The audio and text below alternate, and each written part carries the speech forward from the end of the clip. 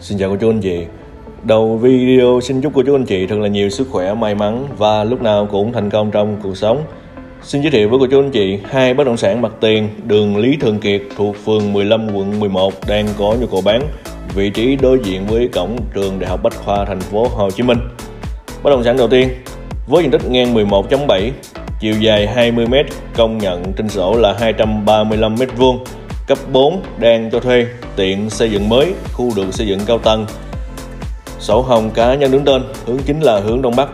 Và hiện tại đang được chủ nhân chào bán là 118 tỷ còn thương lượng. Cùng tầm giá này, nếu cô chú anh chị cần tòa nhà có kết cấu và hợp đồng thuê sẵn thì có thể tham khảo một bất động sản gốc hai mặt tiền với diện tích ngang 10 dài 20 công nhận 206 m2 Diện tích xây dựng sau khi trừ lộ giới là 151 m2. Kết cấu trệt ba lầu sân thượng. Hiện trạng thì đang cho thuê 230 triệu đồng một tháng hợp đồng dài hạn. Hướng chính là hướng đông bắc và bên hông là hướng đông nam. Và hiện tại tài sản này đang được chủ nhân chào bán là 120 tỷ còn thương lượng trực tiếp với chủ sản.